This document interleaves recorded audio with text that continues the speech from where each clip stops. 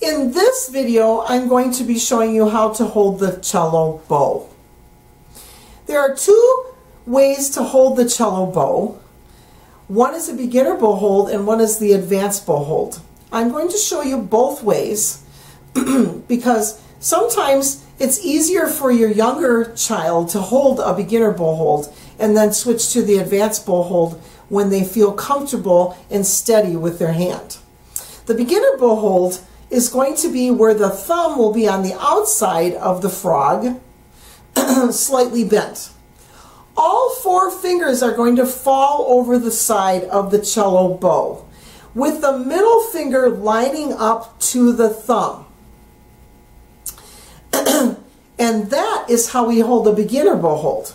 The difference between a beginner bow hold and the advanced bow hold is that we're going to move the thumb in between the grip and the frog, there's a, a brown part of the stick that shows between the grip and the frog where the thumb will sit, slightly bent. I'm going to pull my other fingers away so you can see that it's slightly bent. These four fingers, once again, fall over the top of the stick. Once again, the thumb lines up with the middle finger. It must line up with the middle finger. If it lines up with any other finger, the cello bow will be unbalanced.